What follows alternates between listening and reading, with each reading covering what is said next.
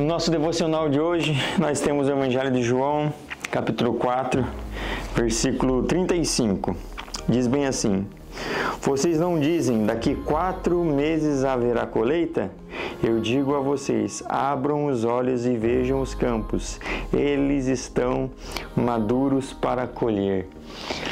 Nós já temos os campos maduros para nós colhermos. Então, o que você está fazendo que ainda você não abriu os seus olhos e enxergou, assim como Jesus está vendo?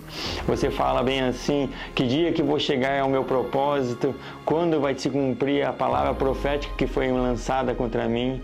Hoje você vai pegar e vai dar o primeiro passo, porque já está feito, já está consumado, já está disponível a você. É o dia de hoje que você dá o primeiro passo para colher muitos frutos. Vamos orar.